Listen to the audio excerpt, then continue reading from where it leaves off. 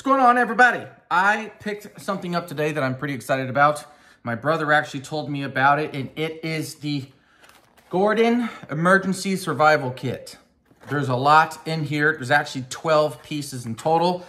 Uh, some of them I'm very excited about. Some of them I'm not so excited about. I'm going to show and share that with you. So before we get started, grab a seat, grab a drink. Let's get started. So what we're doing here is we're gonna go over the Gordon Emergency Survival Kit. Now, I've been looking for something that I want to put in my truck and keep in my truck at all times. And so a survival kit to some degree is going to be that thing. It's gonna be survival, it's going to be a medical kit, so on and so forth. My guess is that I'm going to need to build and customize one for myself but this particular kit from Gordon actually has a lot of things in here that I'm pretty pumped up about. And so, without further ado, we are going to open this bad boy using the handy dandy Smith & Wesson from Walmart. Look at that stone wash. Let's go. Let's get her opened up. Sorry if I make a bunch of noise. And also, my two pups are just kind of staring at me over there in the living room but that's okay. So it comes, and this is what I'm really excited about, or one of the things that I'm really excited about is this here box that it comes in. Now I have two compartments in the back of my truck. I got a 2015 Toyota Tacoma, and there's two compartments on either side at the end of the bed. And this will fit in there so perfect, I'm pretty sure. So we may be giving it a try at, at, the, uh, at the end of this video, so stay tuned for that. We're not gonna open this just yet. All of the goodies are in here except for about three others, which you saw on the front of the package, which I will grab for you right now. And we're gonna start with the first one, if I can get it out. Okay, here we are. Okay, I got it. And the first thing that we're gonna go over is this here knife. Now, it's a 3.25 blade, stainless steel. What type of steel? GK23 I believe that's the type of steel. Um, anybody who knows about steel, you can you can correct uh, me or agree. Uh, but either way, that's the blade, okay? It's all black, which I really like. I like when it's, I, I just think black is like really sleek. Between these two, these are my two favorite like ways to have a knife. Either blacked out or I like the stone wash. So this, there's the blade. Sharp, sharp for, you know, coming out of the box. And so for a survival kit, this is this is about as sharp as you need it to be. Obviously, sharpened to your own preference, but it comes out of the box pretty darn sharp. I'm excited about that. Uh, it's got that straight little pin locking system. I always forget what that's called, but there you go. It's locked. Um, belt clip. See how strong that is. It's strong. There's some knives where the belt clip is so freaking tight that it's like impossible to get it off of your belt loop or out of your pocket, wherever you put it. But some of them, the, the clip is just too darn strong. But this one, it's got enough flex in it that it will be secure when you're standing up, bending down, walking around, running, whatever the case may be. It'll stay put, but it won't be so kept on there that you literally have to work to get it off. And so I do like that. Um, fits good in the hand. It's a basic pocket knife, but it does feel good in the hand. It's it's light, um, but definitely it's lighter than this one, that's for sure. But I do like it. This is supposed to be a seatbelt cutter. Now, I watched one of my brother's videos, and something that he said that I 1000% agree with is I don't actually believe that this is great for seatbelts. I think it sucks for seatbelts. I think this will cut good paracord or twine or any of your survival kit cordage.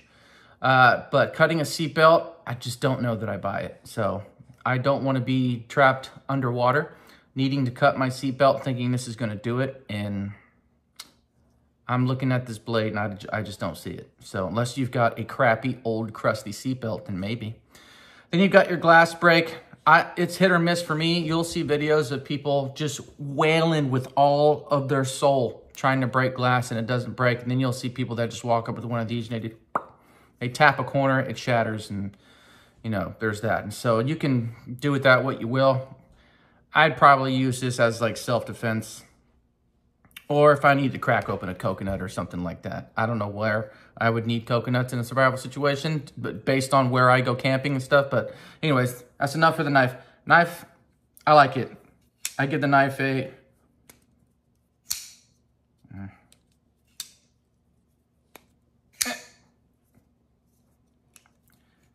Open and close is a little weird, but I bet I could adjust that with this little doohickey right here. So knife, I still give it, let's go seven out of 10. Now, we're gonna go to the other part of this. Oh, they really don't want you to get these out of here. Half the battle is getting it out of the box. All right. The good old spork. I don't really care for these because they never work as intended. This is a spoon. Um, that's what I think it is. So this is a spoon. I, this could work. I mean, depending on what you're trying to grab or scoop. But, I mean, I don't think this is a very good fork. So spork, hardly. Spoon, yes. Got this little hex bolt looking thing right here. I mean, I, I normally don't, maybe you guys can tell me, but I never understand this. Why do, when you're out there surviving in the woods, like what would you use that for? You could put cord and stuff in there, I guess, but if you're using it for its intended purpose, why would you need that in the middle of the woods? I'd never understood that. Um, this is where you can put your cord in and get it tied up. This doubles as a whistle. My dogs are freaking out doubles as a whistle. So, I don't know. I mean, you could always, utensils are always great and whistles are good, but this does seem a little gimmicky to me. So, I'm not super crazy about the spork. I've got so many other camping survival utensils that are just fine. They don't come with a whistle, so I guess that's the plus. Now, little tack flashlight. I don't know, does this got batteries in it? No, it doesn't. So I don't know how bright this is. I guess I could have put batteries in it before I turned the camera on. Um, mine didn't come with batteries, and so I can't tell you how bright this is, but I, I'll comment on what I can comment on. It's pretty tough. It feels like aluminum, doesn't feel like steel. I like that it's got a little clip on it so I can clip it anywhere. See, now this has got one of those clips that I hate. It is hard as crap to bend that off. Not bend it off, obviously, but to put this like in your wherever you're going to put it. It just seems like it'd be so difficult to pull it off this darn clip. And so that I find kind of annoying. But if this is bright, I just need it bright enough to see where I'm walking. I don't need it to light up the whole sky. So I actually do like this a lot. I feel like you can never have, you know, just like knives, you never have too many. Flashlights, you never have too many.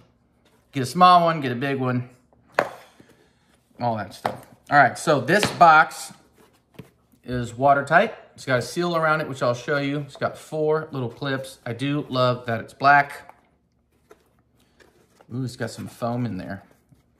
Fantastic. Here's all the oop, goodies. That is the fishing pack. Okay, so it's got line. It's got one J-hook there. And it's got this little soft plastic lure. I bet you this thing is dynamite, the soft plastic lure. I might take it out of there and just Try it. Now don't waste stuff. Okay, so it's got line. That line likely is, is five pound test. I don't think it says it in here somewhere. Uh, I don't know. So that's, that's a big plus. I love this. Instructions. Heat blanket and or emergency blanket and or survival blanket and or call it whatever you want. This is so good at reflecting heat. It's not even funny. Um, you don't have a survival kit if you if you're not carrying around one of these. You don't have a camping kit if you're not carrying around one of these. If you're doing anything outdoors and you don't have this, in case of an emergency situation, in case of weather, you know, temperature drops and this, that, and the other, what are you doing? Don't slack. You're gonna need one of these. Let's get one of these gimmicks out of the way. Now I've used one of these maybe two times in my whole life, and here's what I'll say. It's garbage. It's good if you're trying to cut something this thick.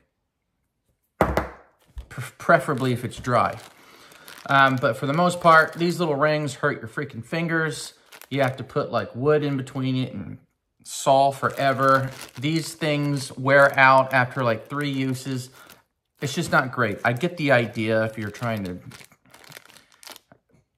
I really just don't like them. Let's just put it that way. So if you guys are about it, good for you. I'm not crazy about them. Like I said, they're good for really small branches, but you could break the thickness that these things would cut. So do you need it? Not really. Eh, that's how I feel about that. What else do I like? Paracord bracelets. A Couple cool things about this. One, got your little blade there. Two, there's a little compass. I'm sure that compass doesn't work that great. Seems like a little gimmicky compass. Does not point true north. That's fine. Um, but this little blade here is good for that little piece right there in the middle. That's actually a ferro rod. How great that little tiny one is, it doesn't come out. No, it doesn't come out. It stays right there. Um, well, I'll tell you what, we're going to try it. So I love bracelets like this. I actually have another one. I never wear it, but I do have one. So now I've got two. And I think this is also, is this a whistle? Yes, it's a whistle. All right, so this is awesome. So I like this. What else? This, if you know what this is, if you camp, then you know exactly what this is. I think this is awesome. No, it's not a baton. No, it's not a straw, even though you could probably use it as a straw. It's a bellow. And so this is great for, there's something in there. this is good for keeping your fire going. You got your, all of your coals are burned down. And you just have that, that red, white coals, super hot, and you need to bring the flames back alive. This is how you do it. Guys, my beer is making me burpy as all get up. Making it hard to talk. So I do like the stainless steel. And I love this. I love this, love this, love this. I'll tell you what, when I the next time I use a fire, even if I do um, light something up in the camp or um, like do like a campfire, fire pit in the backyard, or if I do some um, some grilling, we're gonna use this. And I'll show you how cool it is. All right, we're wrapping this up. We're coming up on the end here. Here is something that I love, love, love, love, love. One on pure size alone. Oh gosh, and of course they wrap it all crazy. Here, but come on, come on. There we go. Here we are. Ferro rod, but a biggin. That's what I like. Got a beer opener here, which doubles as some hex thing, which again, so stupid, but I guess it's got a purpose at some point. You, you can measure things on here if it's that important. I, I'll tell you right now, I'm not measuring anything. I have no use for that. I've got no use for this other than the bottle opener. Um, this is where you scrape the coating of this off and then you strike her up and she's good to go. I love this. You can't have too many of these. Tactical pin. There you go. That's for DNA. This little part right here at the end. Self-defense. Get somebody in their temple. Get them in the jaws. Anywhere where they have like not a bunch of meat right here in the face because you really want to cause damage. And so that's how you do it. It's great. Does it? Is it an actual pin for you moo out there? Yes, it's an actual pin, so you can write on some stuff. I think that's all this is. It's it seems to be hard aluminum, and I'm just trying to make sure there's no other special things about this. Doesn't seem to be, but I do like it. I like it a lot, and so I will keep this in my my probably in the glove compartment of my truck. Be a good place for it. One, because I always need a pen to write with when I'm out and about. And then if I need to get somebody, I get them. Next. This is a to hold a bottle. I don't care about this. I'll probably repurpose it to something else. It won't be for bottles. It'll be for something else.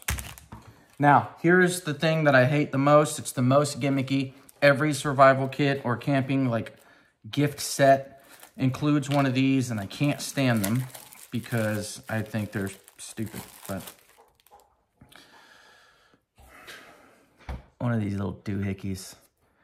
So all these little hex things here, like it would hurt so bad if something was tight. Like if you even tried to use this to get a screw loose or a bolt loose or whatever, like how hard this thing is to turn with your hands. You'd have to just figure it out, I guess. But I'm I'm not crazy about it. I'm not sure what that little part is for. But there's a lot of tools on here. Like this little saw thing is, is tough. Um, maybe it's a fish scaler or something. I don't know, but there's a lot of stuff on here. That I, I'm just not crazy about things like this. I don't know of anyone I've ever met who's ever used one of these or at least used them successfully in a pinch. Not about it. So that is the kit as a whole. What are my top favorite? well, it'll be a shorter list if I tell you what isn't my favorite. Not my favorite. Not my favorite. Not my favorite. So out of the 12 pieces, only three of them kind of rub me the wrong way. I'm not crazy about the spork spoon, um, but it is it is very sturdy. Oh, look, it also has a, okay. I didn't realize that. You pull it out and you've got this knife here with a super sharp, god dang. This knife is sharper than this knife. Jeez. Okay, well, I okay, so I do like this. Never mind. It's got the knife, it's got a scaler, it's got a bottle opener, it's got stupid crescent garbage. Um, other than that, now that I know the rest of this was hidden under there, I'm actually pretty excited about this. That's a win. So I'm excited about everything else. So there it is. That's the whole thing in a nutshell. Gordon Emergency Survival Kit, 12 pieces. I call it a win. I got it at Harbor Freight. Pick you one up. Guys, like the video, subscribe, hit the notification bell, watch my other videos. We're going to take this to the top. I'm bringing you with me. Love you guys. See you in the next video. Peace.